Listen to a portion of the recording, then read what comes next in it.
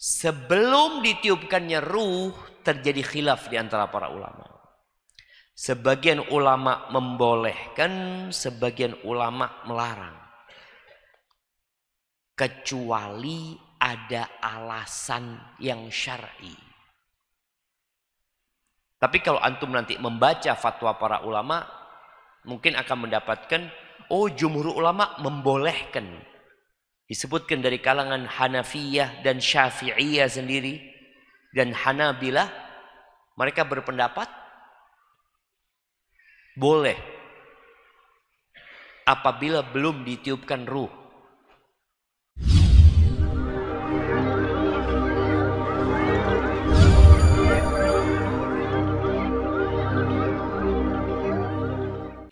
Allahumma salli wa sallim على عبدك ورسولك سيدنا ومولانا محمد وعلى آله وأصحابه أجمعين أما بعد جماعة رحمكم الله kita telah membahas tentang kehamilan yang menjadi pikiran seorang yang sudah menikah tapi nggak hamil-hamil. Banyak pertanyaan yang ditanyakan. Kalau belum menikah pertanyaannya kapan nikah? Antum masih ingat kisah seorang tetangga yang selalu ditanya kapan menikah, akhirnya dia bacok yang bertanya itu jemaah. Sakit hati dia. Dan ini juga menjadi pelajaran buat kita. Di antara amalan yang paling dicintai Allah Azza wa Jalla. Sururun tudkhiluhu ila muslim. Kegembiraan yang engkau transfer ke hati seorang muslim. Kita ini kadang-kala memang suka ganyang orang. Iki tidak kawin-kawin iki. Coba-coba takon Apakah pertanyaan itu membuat dia bahagia? Tidak. Kita telah melakukan perbuatan yang gak disukai sama dia. Dan Allah juga nggak suka. Oh enggak Ustaz, motivasi Ustaz. Enggak, dia nggak suka. Tapi ketika sudah nikah, apa pertanyaan yang paling menyakitkan hati seorang wanita? Belum hamil ya. Loh, pikiri anak iki sing gaya anak dah. Kan ada pertanyaan seperti itu. Loh, sudah berapa tahun udah hamil-hamil? Emang dia yang bikin anak?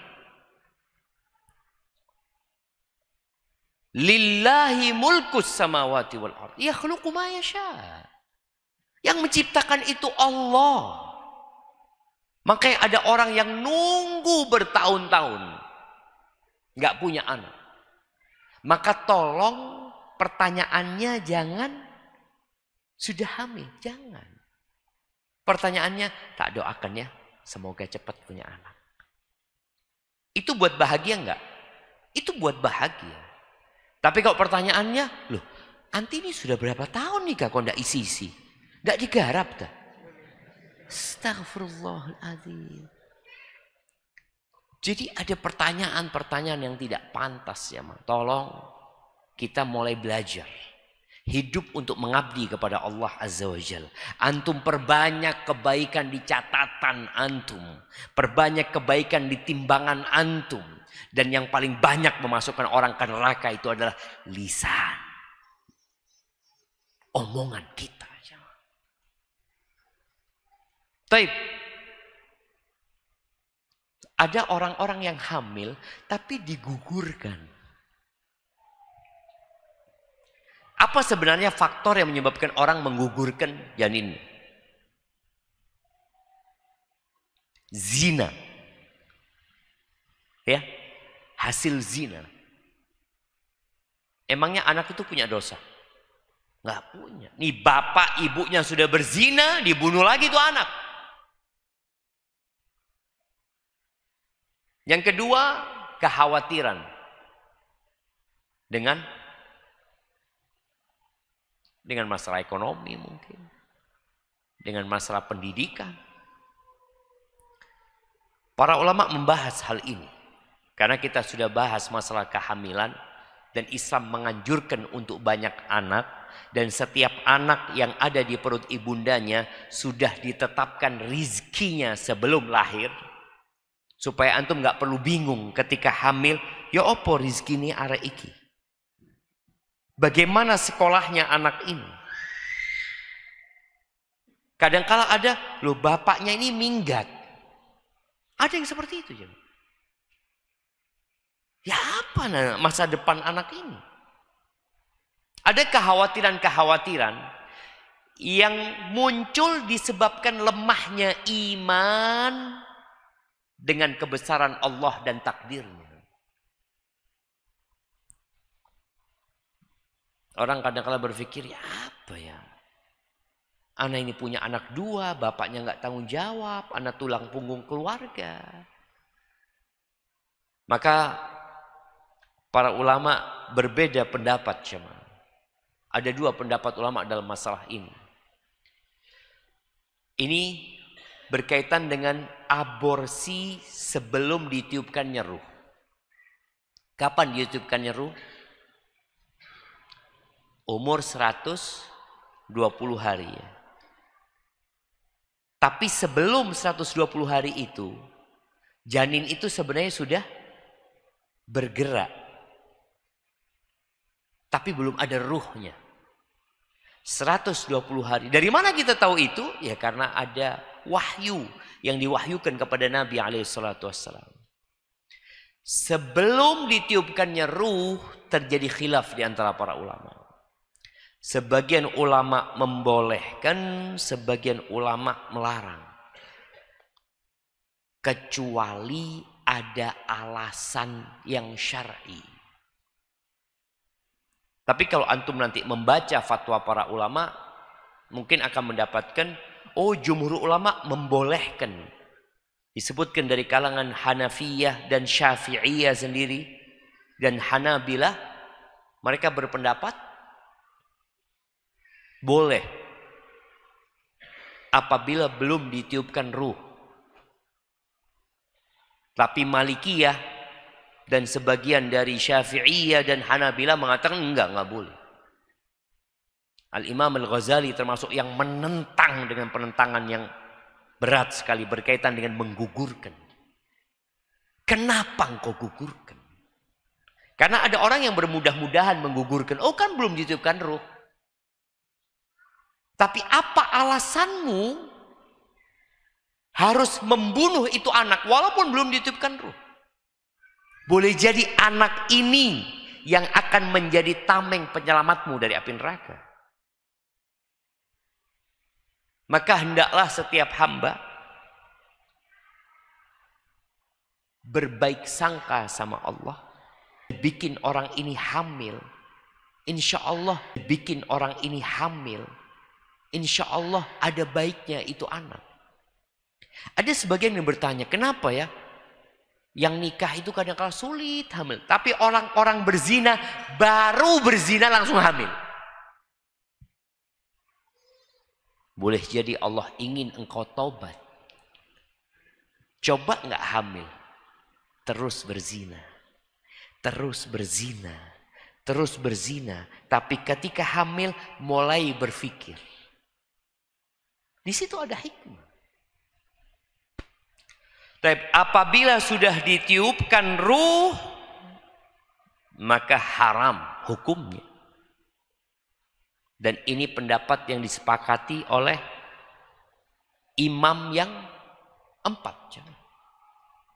Kalau sudah ditiupkan ruh, tadi umur 120 hari, udah haram.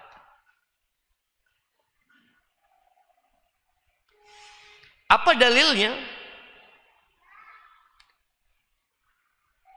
Para ulama berdalil dengan firman Allah di surat Al-Mu'minun ayat 14.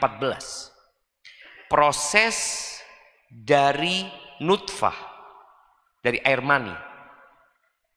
Yang air mani ya kita ketika berbicara tentang azl bagaimana air mani itu dikeluarkan di luar. Boleh apa enggak? Boleh apa enggak? Boleh ini benar. Boleh atas izin istri. Gimana kalau nggak punya istri? Mengeluarkan di luar, boleh apa enggak? Nggak boleh ya mah. Nggak boleh. Terus mau dikeluarkan di mana Ustaz? Ya nikah. Kalau nggak puasa. Tapi ketika berbicara boleh atas izin istri, berarti mani yang hidup, mani itu hidup ya. Sperma itu hidup, tapi dia masih belum disebut manusia. Walaupun kita tahu ada kehidupan di sana. Allah menyebutkan di surat Al-Mu'minun ayat 14 ya, proses penciptaan manusia. Thumma khalaqna nutfata alaqah. Dari sperma itu Allah ciptakan alaqah. Alaqah itu ya seperti segumpal darah yang menggantung. Jadi gantungnya di mana? Di rahim jemaah. Makanya kadangkala ada orang yang lemah kandungannya gantungannya itu nggak kuat, merosot jemaah. Makanya dokter menyarankan buat yang seperti itu biasanya untuk bed rest. Ya dengan bed rest mudah-mudahan ya gantungannya itu kuat, nempel di gitu jemaah. Dia nempel di dinding rahim itu. Allah ciptakan tadi alaqah, darah yang menempel. Fa khalaqnal alaqah mudghah. Dari alaqah tadi menjadi mudghah. Mudghah itu uh, menjadi daging yang bisa dikunyah gitu jemaah. Belum jadi apa-apa masih. Mudghata idhama. Kemudian dari mudghah tadi dari segumpal daging yang seperti bisa dimakan itu sudah ada dagingnya yang awalnya sperma jadi darah, kemudian jadi dagingnya, kemudian Allah ciptakan dari daging itu tulang belulang. Mulai proses menjadi bentuk janin. Fakasaunal idhama lahma. Kemudian tulang belulang itu dibungkus sama daging. Thumma ansha'nahu khalqan akhar. Kemudian kami jadikan dia ciptaan yang lain. Di sini para ulama menyebutkan awalnya benda mati.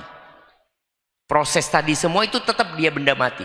Kemudian ketika ditiupkan ruh jadi ciptaan yang berbeda. Dia sudah ada kehidupan, ada ruh yang ditiupkan di sana. Atas dasar inilah tidak boleh menggugurkan janin. Kalau sebelumnya Dikatakan umpamanya janinnya ini cacat. Kalau lahir dia cacat. Kalau lahir akan merepotkan kedua orang tuanya. Kalau sebelum ditiupkan ruh boleh. Kalau tadi ada alasan-alasan yang memang berbahaya atau ya untuk masa depan itu anak tidak baik, maka boleh apabila belum ditiupkan ruh. Kalau sudah ditiupkan ruh, maka yang menjadi pertimbangan adalah nyawa ibunya. Nyawa ibunya, bukan nyawa anaknya. Kalau kata dokter mengatakan ini kalau dipertahankan ibunya mati. Maka boleh digugur. Tapi dengan catatan tadi bertanya kepada dokter yang bertakwa kepada Allah Dan jangan bertanya kepada satu orang perlu ada opsi dokter yang lainnya. Tapi kalau dokter mengatakan ini janinnya kesian, kalau lahir nanti, dia soalnya nggak punya mata, umpamanya. Boleh digugurkan atau tidak? Nggak boleh. Setelah ditiupkan ruh, dia sudah makhluk hidup. Sebagaimana kita nggak boleh bunuh anak yang lahir cacat. Nggak boleh. Manusia sudah dia. Kenapa engkau bunuh? Engkau keluarkan. Ada orang tua punya anak cacat kemudian boleh dia bunuh? Nggak boleh. Tapi merepotkan orang tua nggak boleh. Anak pernah dapat seorang dapat telepon dari seorang anak SMA, perempuan. Dia telepon mengatakan, Ustadz, Alhamdulillah katanya nyambung sama Ustadz. Ibu Ana mau bunuh adik Ana. Ustaz. Karena adiknya cacat memang. Orang kan kalau membunuh ketika janin diaborsi, nggak terlalu merasa berdosa. Karena memang seakan-akan belum jadi manusia. Padahal dengan ditiupkannya ruh, sudah manusia dia. Dia akan dibangkitkan pada hari kiamat. Ketika dia digugurkan. Akhirnya apa yang harus anak lakukan Ustaz? Bayangkan ibunya mau bunuh adiknya karena adiknya cacat gitu. Ibu sudah nggak mampu merawat itu anak. Jangan. Boleh jadi tuh anak yang cacat menjadi penyelamat orang tuanya dari api neraka. Wallahi jamaah hidup ini adalah kesusahan demi kesusahan. Antum hanya akan berpindah dari satu kesusahan dan kesusahan yang selanjutnya. Kita udah bicarakan. Yang jomblo susah, ingin nikah. Udah nikah. Ternyata tambah susah. Nah, punya anak tambah susah. Anaknya tambah lagi, terus cuma Di sini bukan tempat bersenang-senang. Ada orang-orang yang dikasih anak-anak yang spesial sama Allah Subhanahu wa taala, yang berkebutuhan khusus. Allah sengaja menciptakan itu. Allah punya hikmah. Karena Allah itu alimun hakim. Allah maha mengatakan, engkau butuh sama anak itu. Engkau butuh. Maka dikasih sama Allah itu anak buat engkau. Untuk menguji kesabaranmu, untuk mengangkat derajatmu, untuk menghapuskan dosa-dosamu. Dan ketahuilah bahwa semua bencana, semua petaka, semua kepedihan, semua kesedihan dengan mati selesai. Engkau akan berpindah ke alam yang lain. Tinggal engkau harus berpikir bagaimana di alam sana. Maka ingat, hukumnya tidak boleh menggugurkan itu anak. Yang boleh hanya berkaitan dengan nyawa ibunya. Kalau nyawa ibunya, karena ini kita tahu ibunya hidup, bernyawa.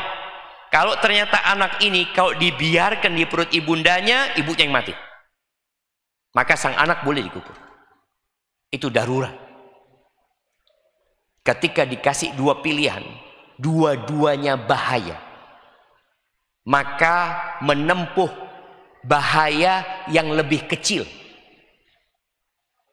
Menempuh bahaya yang lebih kecil. Sama-sama bahaya, sama-sama bunuh ini. Itu kalau digugurkan mati, ibunya mati. Mana bahaya yang lebih utama? Kalau ibunya yang mati. Karena ibunya ini seperti pohon. Aslinya ibu. Anak ini ikut. Sebagian suami dikasih tahu sama dokter. Mas, ini gimana mas? Kenapa dong? Pilihannya dua. Ibunya atau anaknya yang selamat. Antum milih mana coba? Anaknya aja dok, ibunya cari ganti nanti dok. Na'udzubillah. Secara hukum ibunya aja mah. Antum nggak boleh bunuh ibunya. Antum boleh menyebabkan kematian anaknya, boleh. Tapi ibunya nggak boleh.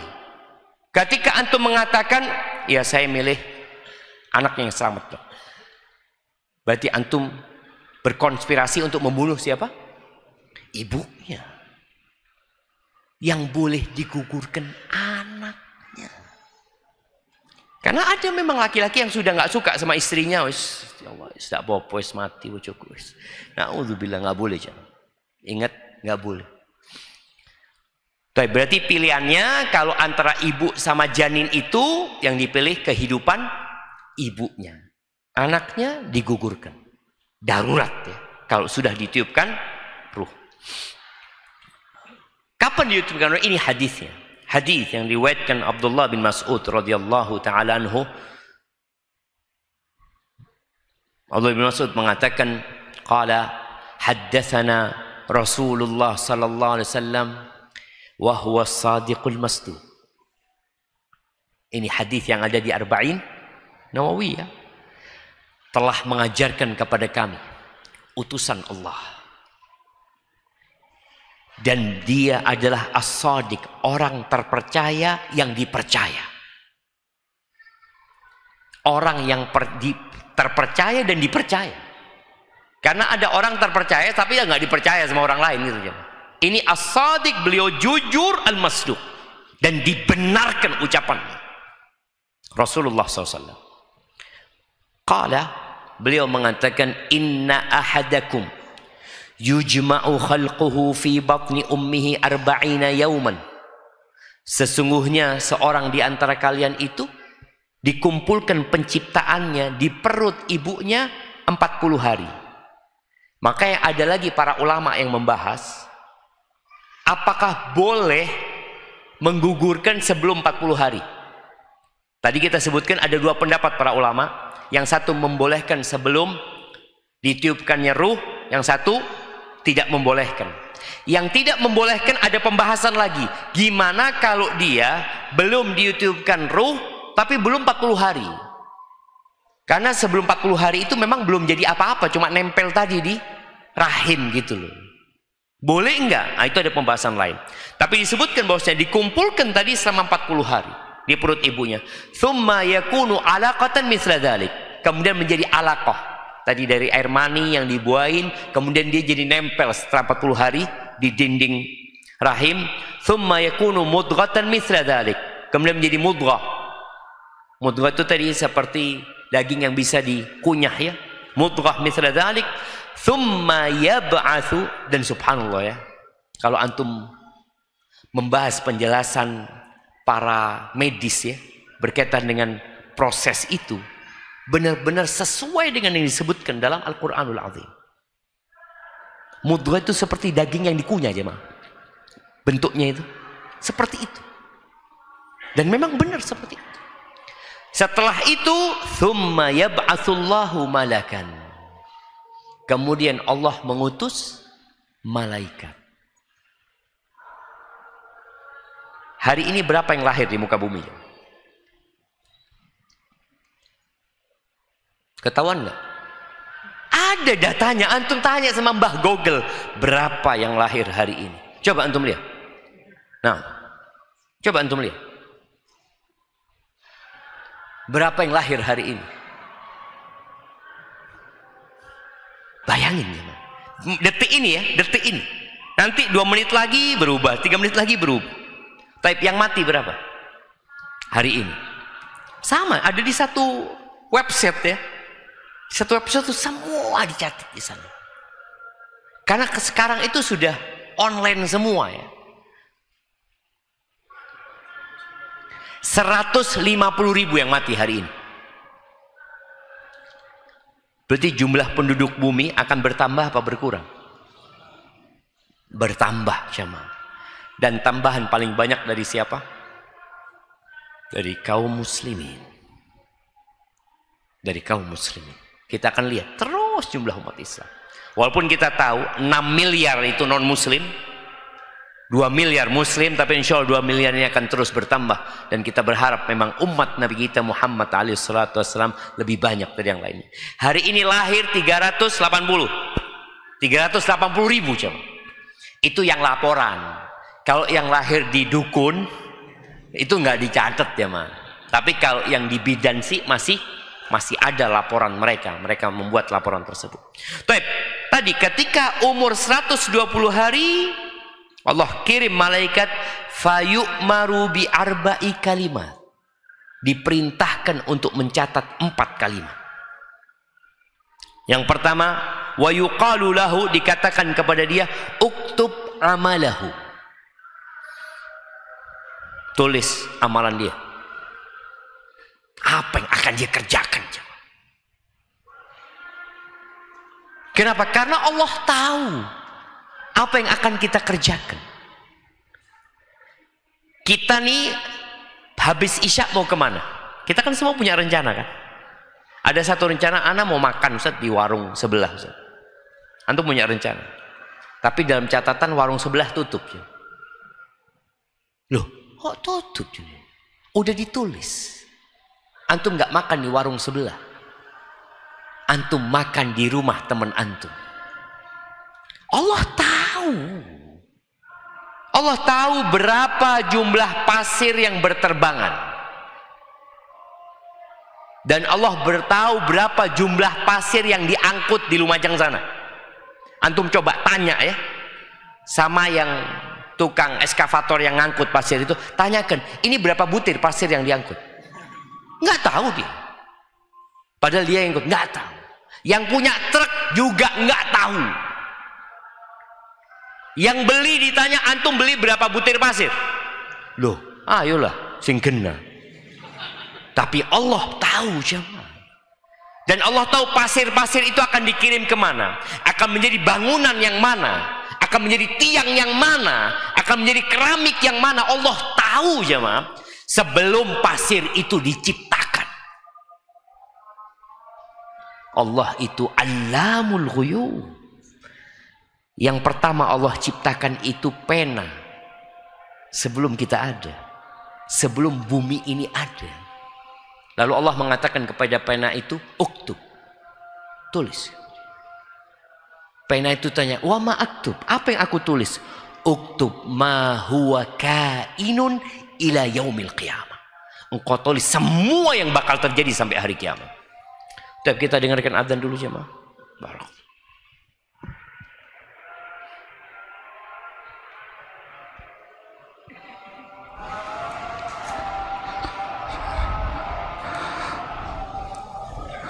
الله أكبر الله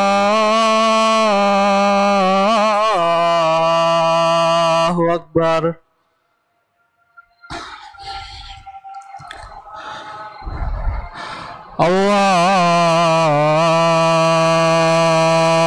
الله أكبر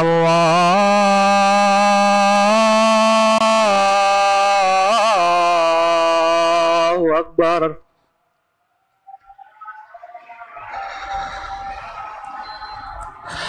أشهد أن لا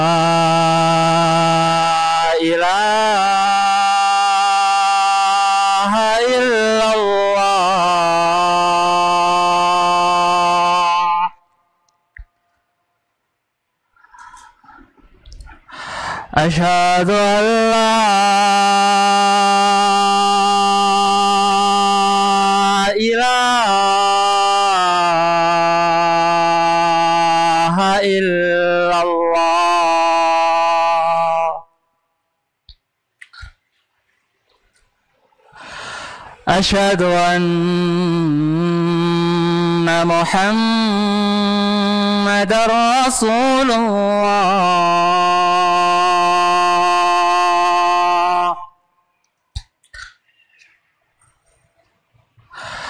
أشهد أن محمد رسول الله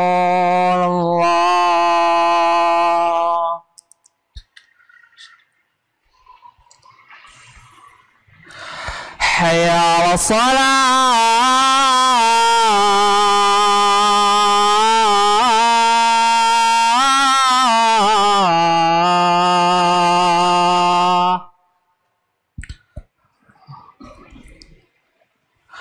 حي على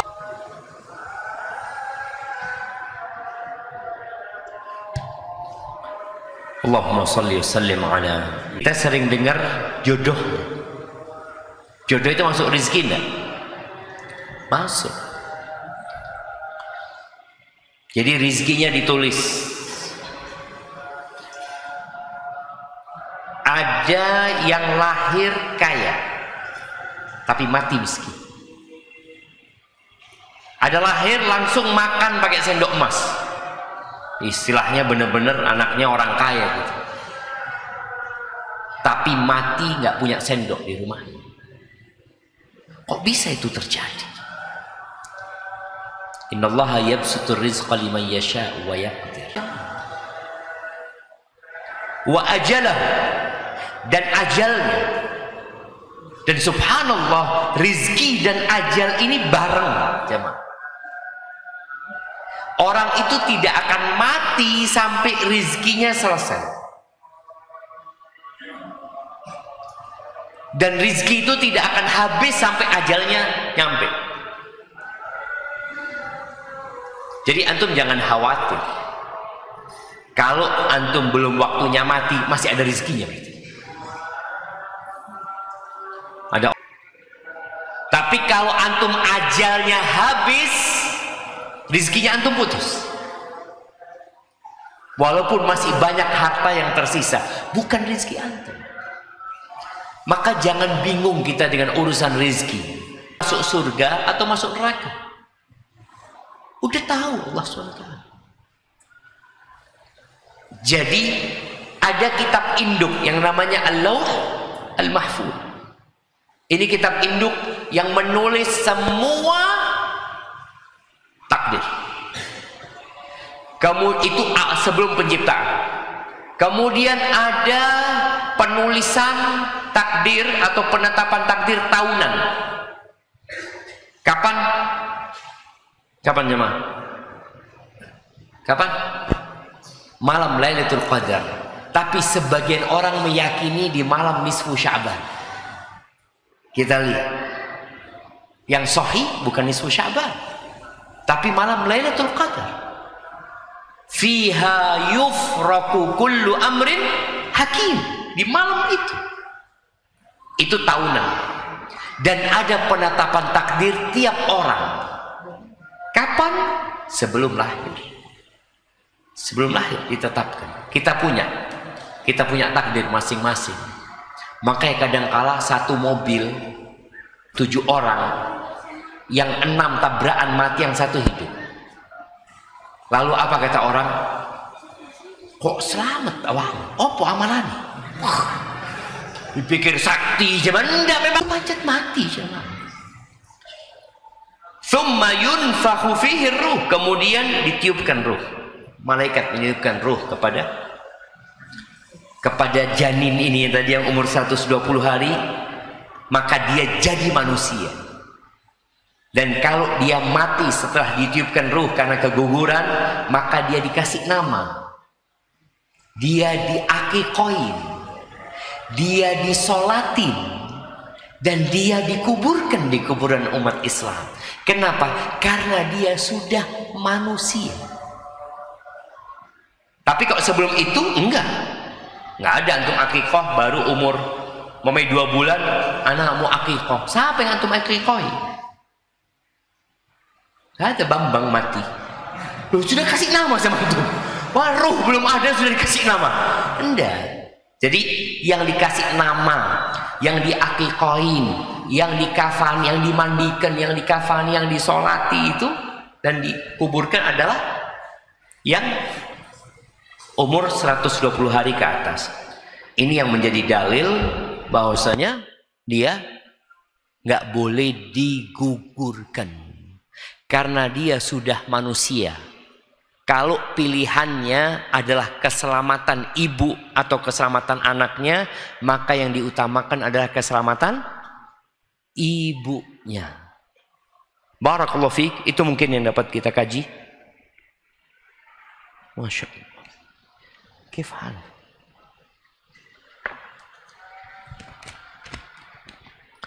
Iya, di belakang sana emak-emak sudah pegang mic ya.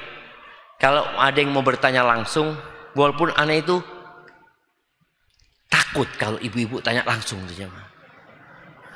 Tapi mau gimana lagi? Tafadholi kalau ada yang mau tanya langsung silahkan. Tapi anak bacakan satu pertanyaan dulu ya. Afan Ustaz, apa pendapat antum tentang seorang yang mengatakan semua nabi sebelum Nabi Muhammad sallallahu alaihi wasallam hanya membahas ibadah dan hubungan hamba dengan Tuhannya. Namun Nabi Muhammad SAW sampai membahas haid sambil mengolok dan menertawakan Nabi Muhammad SAW. Katanya lidahnya sampai kegigit karena lucu. Jadi jamaah orang kalau sakit orang kalau sakit mata. Mampukah dia melihat matahari? Gak mampu, udah iso aku kata. Matahari ada nggak? Ada. Tapi maksudnya dia kan yang sakit. Gak ada, nggak kelihatan matahari antum yang sakit. Antum tahu sate gulai kambing mana yang enak di Jember ini jemaah? Enak jemaah. Ketika antum kasihkan ke orang yang sakit. Apa iki? Apakah ucapan dia opo iki membuat gulai dan sate itu tidak enak? Tuh dia kalau orang sakit mata dia tidak akan dapat memandang sesuatu yang indah. Padahal sesuatu itu indah. Dan orang yang sakit badannya, yang kemudian dia nggak enak makan, maka semua makanan seenak apa pun akan dianggap hambar. Berarti masalahnya di mana? Di dianya.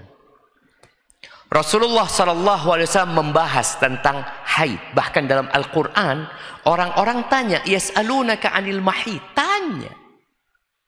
Kenapa? Inilah kesempurnaan Islam. Penutup semua agama. Semua yang dibutuhkan dibahas. Dan kalau dia mengatakan nabi-nabi tidak membahas, nabi-nabi membahas juga. Hubungan antara hamba dengan Allah dan hamba dengan makhluknya dan hamba dengan dirinya sendiri semua dibahas.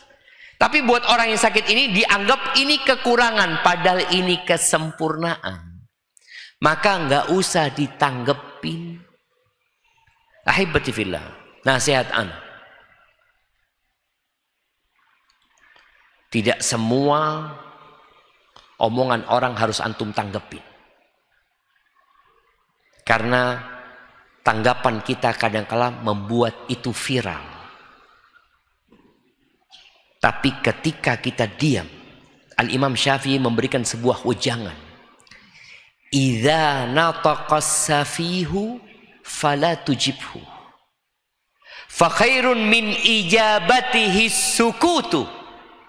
In kallamtahu farrajta anhu wa in khallaitahu kamadan yamutu. Kalau ada orang bodoh berbicara, jangan jawab. Jangan jawab. Karena jawaban yang paling indah adalah diem. Kalau dijawab, dikomentari, oh seneng dia jemaah. Tapi coba antum diem. Tiap hari dia lihat, dia lihat, kok nggak ada yang komen ya? Mati penasaran dia aja. Maka nasihat Anda jangan mengomentar yang seperti itu. Ada MUI yang akan menyelesaikan. Kita nggak perlu ikut-ikut. Ada sebuah kejadian. Kejadian ini sebenarnya hanya permisalan. Di sebuah hutan, kita tahu siapa raja hutan? Singa. Di sebuah hutan ini permisalan ya. Di sebuah hutan terjadi perdebatan antara keledai sama monyet. Mereka melihat rumput. Kata monyet, rumput ini warnanya hijau. Kata keledai, biru. Kata monyet, hijau. Oh biru, wah ini cakar-cakaran ini. Monyet sama ini gara-gara menetapkan warnanya rumput. Akhirnya mereka, udah, udah, udah, kita ke raja, ke raja hutan, supaya dia menengahin kita. Ngomonglah si monyet ini. Raja kata dia, nih anak ribut sama keledai ini. Sampai kita berantem kata dia. Dia ngomong bahwasanya rumput itu biru. Iya, raja hutan biru. Padahal warnanya kan hijau. Aku ngomong hijau, dia nggak percaya kata dia. Apa kata raja hutan? Iya. Yang benar keledai. Kamu diusir dari hutan ini. Diantarkanlah keluar dari hutan. Raja hutan ini ngomong, nyet. Nyet, kau tahu seluruh penduduk hutan ini tahu kalau rumput itu hijau. Kamu ada apa debat sama keledai? Ini gara-gara engkau ribut di hutan ini kata dia. Sudah kau keluar dia. Itulah dampak orang yang berdebat dengan orang bodoh. Yang ada disebut debat kusir kan, wis menengo. Sampai ada istilah sing waras ngalah. Ini kan monyet tidak mau ngalah. Berarti dia waras apa enggak? Ya udah waras. Makanya Raja Hutan mengatakan sudah berangkat engkau. Karena dia nggak waras. Soalnya kalau keledai ini ditanggapin terus, yang ada orang ribut sudah biarin keledai ngomong, oh rumput itu biru. Iyo, mari. Biar dia seneng.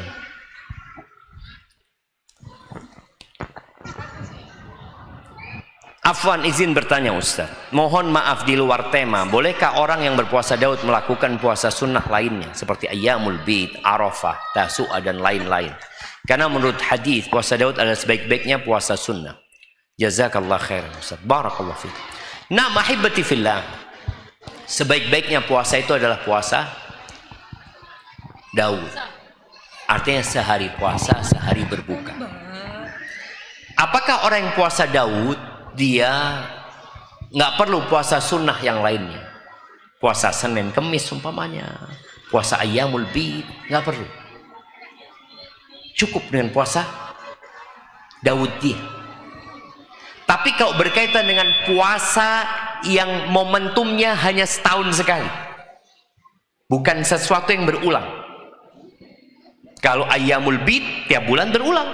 Ya udah kau cukup dengan puasa Daud. Tapi kalau yang berkaitan dengan puasa Arafah umpamanya, usahakan engkau puasa Arafah. Atau contohnya, dia ketika masuk 10 awal Dhul Hijjah, dia mau puasa 10 awal Dhul Hijjah 9 hari. 1, 2, 3, 4. Nggak apa-apa, karena ini hari-hari mulia. Jadi ada hari-hari yang spesial yang tadi yang tidak berulang tiap bulan. Maka engkau kalau mau silahkan. Tapi kalau engkau mau tetap dengan puasa Daudmu, nggak apa-apa. Karena itu sudah sebaik-baiknya puasa. Barakallahu fikum. Izin bertanya Ustaz. Apakah boleh berdoa untuk meminta rizki yang lebih? Kekayaan uang. Dengan harapan bisa haji, umroh, sedekah, dan lain-lain. Tetapi kita tidak tahu jika kaya uang apakah kita bisa haji atau malah kufur. Mohon penjelasannya. Boleh minta rizki. Tapi jangan sembarang rizki. Tiap pagi Nabi alaihissalatu minta rizki. Apa doa Nabi SAW tiap pagi? Allahumma inni as'aluka ilman nafi'an. Ya Allah, aku memohon kepada ilmu yang bermanfaat. Wa rizqan tayyiban. Minta rizki tapi yang baik, yang halal. Cukup? Oh, nggak cukup. Minta lagi. Wa amalan mutaqabbala. Minta amalan yang diterima. Jadi kalau minta jangan hanya minta tambahan rizki. Tapi mintalah rizki yang baik. Sebagaimana orang yang kepingin punya anak, berdoa minta anak, jangan cuma minta anak. Tapi mintalah anak yang soleh. Untuk menghindari tadi, kita kan nggak tahu anak ini nanti durhaka atau jadi anak yang berbakti. Kita nggak tahu, makanya mintanya seperti doanya Nabi Ibrahim, Robbi habli minas salihin atau doanya Nabi Zakaria Rabbi habli min ladunka dzurriyyatan thayyibah tetap minta keturunan thayyibah salihin tetap seperti itu jadi karena kita memang nggak tahu minta sama Allah rizki yang baik ilmu yang bermanfaat dan amalan yang diterima Baik, ada pertanyaan dari ibu-ibu? Iya. Assalamualaikum Ustadz. Waalaikumsalam warahmatullahi wabarakatuh. Uh, tadi Ustadz menyebutkan bahwa penetapan takdir itu sebelum ditiupkan roh sudah di neraka ataupun di surga. Apakah ada eh, yang sudah ditetapkan di surga tetapi melakukan amal-amal amalan neraka atau sebaliknya dan bagaimana kita ketika kita berdoa ya Allah aku mohon kepadamu surga dan segala dan segala mendekatkan ke surga baik ucapan maupun perbuatan dan aku berlindung padamu dari neraka dan segala dari yang menyeretkan neraka da- baik dari ucapan maupun perbuatan bagaimana itu kami menyikapinya karena kita kan tidak pernah tahu ending kita itu di mana di surga atau di neraka jazakallah khairan Barakallahu fikum. Jamaah takdir itu rahasia ilahi. Jadi tugas kita adalah mengimani takdir bukan memikirkan takdir. Karena pernah para sahabat mulai berpikir ketika Nabi alaihi salatu wasallam mengubur jenazah ya ketika dibaki ya proses penguburan jenazah sahabat ada yang tanya ya Rasulullah aya'lamu rabbuna ahlal jannati min ahlin nar. Apakah Allah sudah tahu? Kita bicara ilmunya Allah. Karena kalau bicara takdir itu bicara ilmunya Allah. Allah tahu. Apakah Allah sudah tahu siapa di antara kita yang masuk surga dan siapa di antara kita yang masuk neraka? Kata Nabi SAW, nah. Mulai mikir sahabat. Fafimal amal. Terus ada apa kita beramal kalau gitu kalau Allah udah tahu? Kata Nabi SAW, malu. Tugas kalian itu beramal. Bukan memikirkan takdir. Karena takdir rahasia yang kita nggak tahu. Kita disuruh beramal. Fakullun muyassarun lima khuliqalahu. Semua akan dimudahkan untuk apa dia diciptakan memang. Maka karena kita nggak tahu, kita disuruh beramal. Di antara bentuk amal itu adalah berdoa. Kita tiap hari doa Rabbana atina fid dunya hasanah wa fil akhirati hasanah wa qina adzabannar. Kita suruh berdoa. Rizki sudah ditakdirkan, tapi kita disuruh berdoa, kita disuruh berusaha. Ada satu mengatakan, karena rizki sudah ditakdirkan, ya sudah. Kalau waktunya datang ke ana, datang ke ana rizki. Rizki itu ada dua. Ada rizki yang dicari, ada rizki yang mencari. Rizki dicari suruh usaha. Makanya ketika datang seorang sahabat kepada Nabi Shallallahu Alaihi Wasallam, dia mengadukan kefakiran dia. Akhirnya Nabi suruh dia cari kayu. Shallallahu Alaihi Wasallam usaha. Maka ingat takdir itu bukan untuk dipikirkan, tapi takdir itu untuk diimani. Sehingga tatkala kita kapan tahu takdir kita? Setelah terjadi. Takdir orang lain, ya Allah, fulan mati kafir ternyata. Nah, kita kan nggak tahu selama ini. Tapi sebaliknya, ada satu orang yang naudzubillah ya, orang kafir, orang murtad dia tahu-tahu mati husnul khotimah. Siapa yang tahu? Kita nggak tahu, tapi ketika terjadi baru kita tahu takdir. Iman dengan takdir inilah yang membuat hidup kita damai. Dan kita tahu apa yang terjadi sama kita sudah ditakdirkan. Tapi kalau bicara kita kira-kira masuk surga atau masuk neraka, kapan kita akan tahu?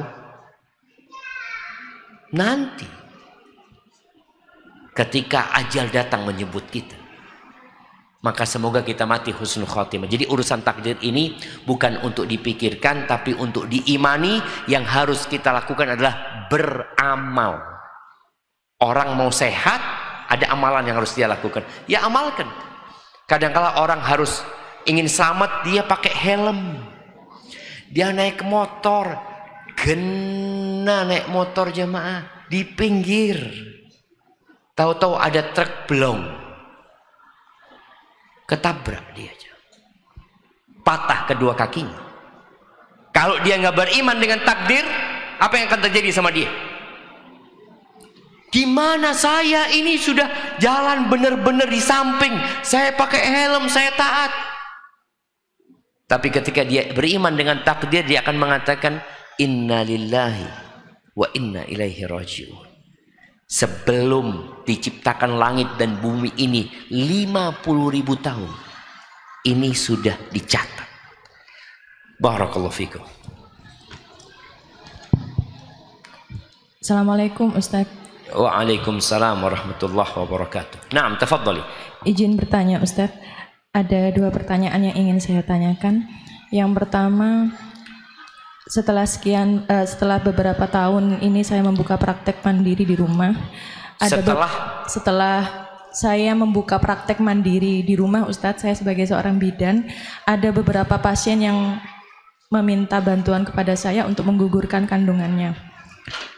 Eh, yang ingin saya tanya dengan alasan kondisi yang berbeda-beda Ustadz, ada yang beberapa Kondisi apa? Dengan alasan kondisi yang berbeda-beda dan bermacam-macam alasan untuk menggugurkan kandungannya. Yang ingin saya tanyakan ya Ustadz, adakah saran atau tips dari Ustadz menghadapi orang yang sudah putus asa seperti ini?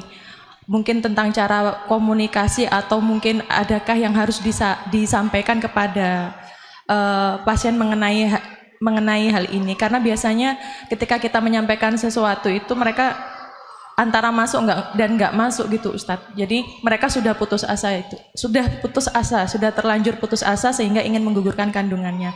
Masya Mohon mohon tips dan sarannya Ustadz.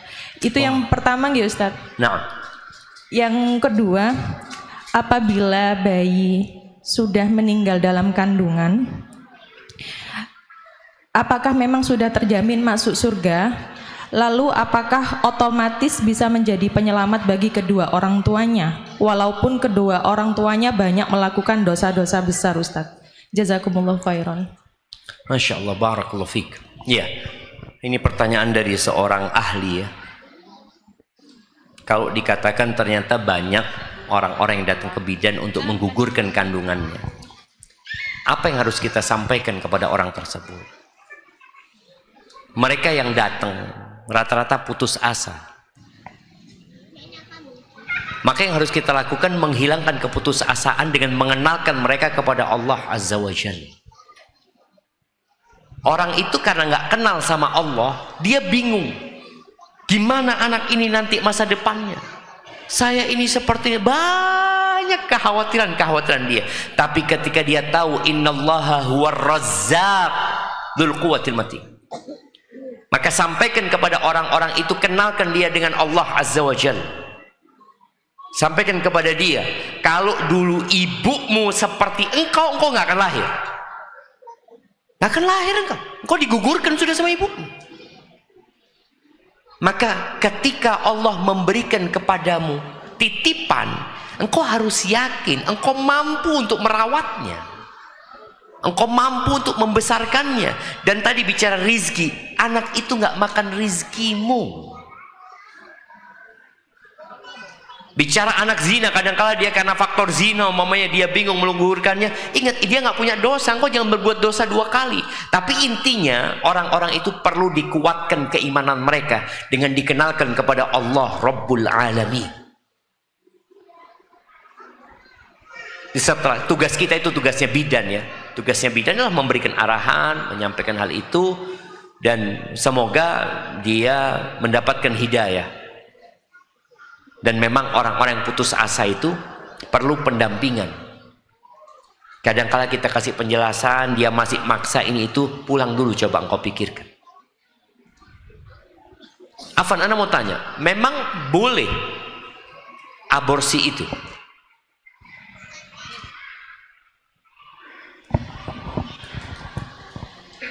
Nah, secara hukum di negeri kita gimana? Kalau mengenai aborsi ya Ustadz, kalau seandainya memang setahu sependek pengetahuan kami, kalau memang membahayakan boleh Ustadz. Kalau memang membahayakan ibunya, contohnya begitu Ustadz, itu boleh. Tapi mungkin tidak sedetail de- dengan syariat ya Ustadz. Cuma yang jelas kalau memang membahayakan eh, nyawa ibunya, kondisi ibunya itu boleh Ustadz. Siap, Masya Allah, Barakallah. Artinya secara aturan negara kita juga melarang aborsi kecuali ada sebab-sebab yang akhirnya diperbolehkan aborsi. Artinya banyak aborsi ilegal dilakukan oleh orang-orang itu. Ya, di sini tugasnya eh, bidan-bidan yang baik ya. Karena ada orang memang mencari keuntungan dari aborsi. Ada klinik-klinik yang memang dia mencari keuntungan dari aborsi maka dia termasuk berdosa karena dia membantu mereka untuk melakukan aborsi. Jadi tugas bidan adalah menguatkan keimanannya, meyakinkan dia dengan kebesaran Allah, kemudian juga diingatkan bahwasanya tujuan hidup itu adalah beribadah kepada Allah Subhanahu wa taala. Orang yang sudah tidak tahu arah jemaah, maka dia akan tabrak sana tabrak sini. Maka perlu diingatkan ke mana sebenarnya arah dia. Barakallahu fiik.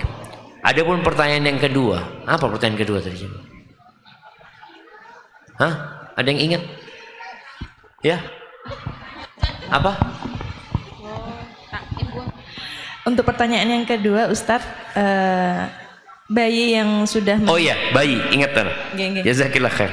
Bayi yang sudah ditiupkan ruh kemudian dia mati dalam kondisi di perut ibundanya atau sampai lahir kemudian mati sebelum balik, maka anak-anak itu ya anak-anak yang tidak punya dosa. Nabi Ibrahim alaihissalam merawat tuh anak-anak yang belum belum balik. Anak-anak itu sehingga harapan anak-anak itu masuk surga itu yang insya Allah akan mereka dapatkan. Karena sejatinya mereka belum memiliki dosa. Tapi apakah anak itu bisa menyelamatkan orang tuanya walaupun orang tuanya banyak dosa peluang syafaat itu tetap ada. Tapi kita perlu tahu ada orang yang ditinggal mati anaknya nggak sabar. Dia malah menyalahkan Allah subhanahu wa ta'ala. Tapi orang yang bersabar menerima takdir Allah itu insya Allah tuh anak bisa menyelamatkan orang tuanya. Seperti apa bentuk penyelamatannya? Ya nanti dilihat. Seperti apa dosa-dosa bapaknya jadi tetap akan ada hisab dan penimbangan. Nanti akan ada syafaat. Dan syafaat itu akan diberikan kepada orang yang diridhoin untuk dikasih syafaat dan orang yang dikasih izin untuk memberikan syafaat. Jadi ada keridhaan Allah kepada orang yang mau dikasih syafaat dan ada izin Allah untuk orang yang memberikan syafaat Taib. Ini ada pertanyaan Bagaimana tata cara sholat taubat dan apakah ada waktu khusus dalam mengerjakan sholat taubat serta adakah doa atau bacaan khusus saat sholat taubat? Jadi sholat taubat ini bukan sholat rutinitas ya, waktunya bebas dan sholat taubat itu tidak ada bacaan khusus. Hanya saja hendaklah dia benar-benar khusyuk ketika melaksanakan sholat itu, menyempurnakan wudhunya dan itu menjadi penyempurna taubat dia, bukan syarat taubat ya. Sholat taubat itu bukan syarat diterimanya taubat. Tapi syarat diterimanya taubat adalah menyesal, meninggalkan dan bertekad untuk tidak mengulangi. Adapun sholat taubat itu untuk penyempurna. Jadi kalau engkau nggak sholat taubat pun, tapi engkau memperbanyak sholat-sholat sunnah yang lainnya dan syarat-syarat yang tadi disebutkan terpenuhi, insya Allah cukup. bahwa besok jamaah tidak boleh membawa mobil. Bahwa besok jamaah tidak boleh membawa mobil. Hanya boleh membawa sepeda motor. Kami sangat berterima kasih atas semua itu Ustaz berkat wasilah antum dakwah sunnah di Pekanbaru semakin pesat. Enggak salah antum. Dakwah di Pekanbaru itu pesat karena memang banyak ustadz-ustadz di sana jamaah banyak guru-guru ana senior-senior ana di sana. Dan boleh jadi dakwah salaf di Pekanbaru itu termasuk yang awal-awal ya. Di situ ada ada Buya yang udah meninggal ya. Di Ma'had Al-Furqan itu termasuk ma'had-ma'had yang awal yang mengajarkan dakwah salaf ini. Furqan itu termasuk ma'had-ma'had yang awal yang mengajarkan dakwah salaf ini kemudian kami ingin untuk Ustadz kunjungi yaitu kampung kami. Kampungnya di mana antum ini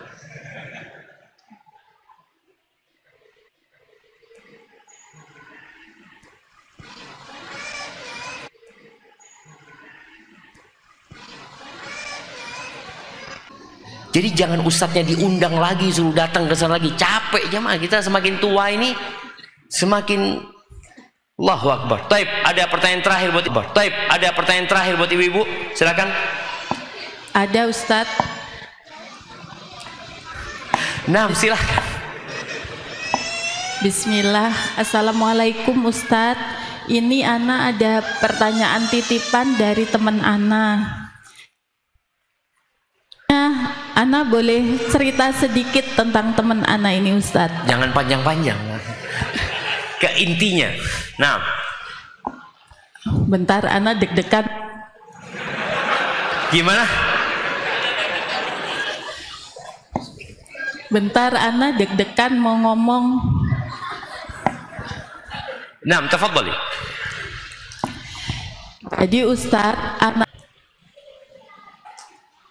nggak bisa melihat, terus eh eh, apa ya?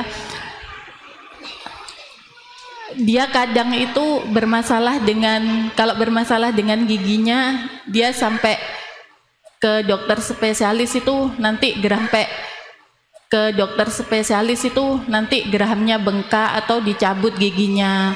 Kalau lagi sakit sarafnya terkadang kalau digendong kalau digendong suaminya itu kan dia nggak medis juga semua medis juga semua sudah dilakukan sampai rasanya itu keluarga sudah putus asa karena ibaratnya teman saya ini hidup tapi kayak nggak hidup gitu tuh loh Ustadz. Jadi mohon Ustadz ngasih uh, uh, amalan apa yang harus dikerjakan biar bisa tenang hatinya dan bisa apa ya menerima takdir Allah ini dengan lapang gitu. Barakallahu. Jazakallahu khairan. Yang pertama yang perlu disampaikan kepada dia dan keluarganya bahwasanya hidup ini adalah ujian dari Allah Subhanahu wa taala. Yang kedua, sampaikan bahwasanya cobaan itu sudah ditakar. Sampaikan bahwasanya cobaan itu sudah ditakar. Dan boleh jadi kalau dia adalah wanita yang solehah, ada derajat yang sudah ditetapkan di sisi Allah yang amalannya nggak cukup. Maka hendaklah dia berharap kepada Allah mendapatkan derajat yang tinggi dengan kesabaran dia. Kemudian yang ketiga bicara amalan. Maka suruh dia banyak-banyak membaca ya arhamar rahimin, irhamna. Minta itu dan baca la haula wala quwata illa billah. Ketika seorang putus asa itu nggak boleh minta mati, tapi dia boleh berdoa dengan doa minta keputusan dari Allah. Doanya adalah Allahumma ahyini ma alimtal hayata khairan li. Ya Allah, hidupkan aku kalau hidup itu baik buat aku. Wa tawaffani idza kanatil wafatu khairan li. Idza kanatil wafatu khairan li. Dan matikan aku kalau kematian itu baik buat aku. Karena kita nggak tahu mana yang lebih baik. Maka minta kepada dia untuk membaca doa itu. Dan tadi kalau sudah banyak kegiatan-kegiatan yang tidak sesuai dengan syariat bahkan mengandung bau-bau kesyirikan hendaklah diminta untuk bertobat memohon ampun kepada Allah Azza wa Jalla.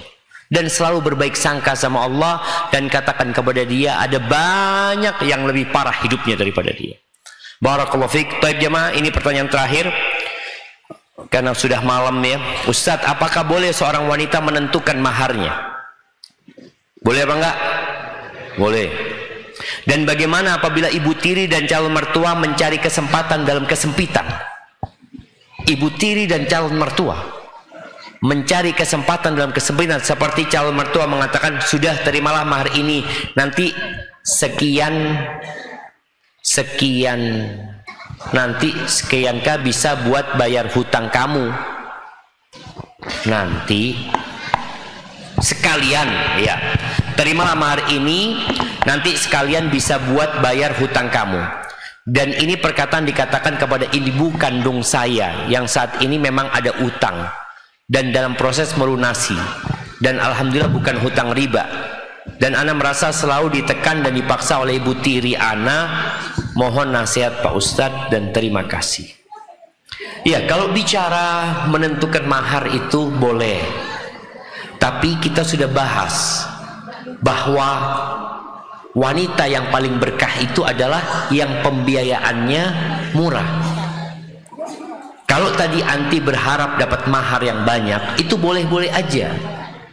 Tinggal sekarang kalau anti melihat mereka memang nggak mampu dengan mahar tersebut. Kecuali mereka mampu. Ada orang-orang yang kaya tapi bakhil. Ketika ada orang-orang kaya yang bakhil, anak rasa nanti jangan mau menikah sama dia. Kenapa? Karena bakhil ini akhlak buruk. Buruk orang itu kalau sudah bakhil. Sampai Nabi alaihi mengatakan la yajtami' imanun wa syuhun fi jawfil abdi nggak kumpul tuh iman sama bakhil nggak kumpul artinya kalau sekarang anti melihat ada maksudnya mereka sebenarnya mampu dan mahar yang anti minta sebenarnya juga tidak terlalu banyak. Maka kalau anti melihat untuk tidak melanjutkan pernikahan nggak apa-apa.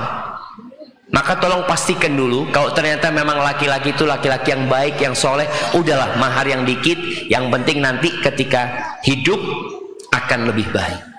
Karena ada jamaah yang maharnya besar sekali, yang menjadi kebanggaan, tapi cerai. Apa gunanya? Hada wallahu alam bisawab. Itu yang dapat anda sampaikan kurang lebih mohon maaf. Subhanakallahumma wa bihamdika asyhadu an la ilaha illa anta astaghfiruka wa atubu ilaik. Wassalamualaikum warahmatullahi wabarakatuh.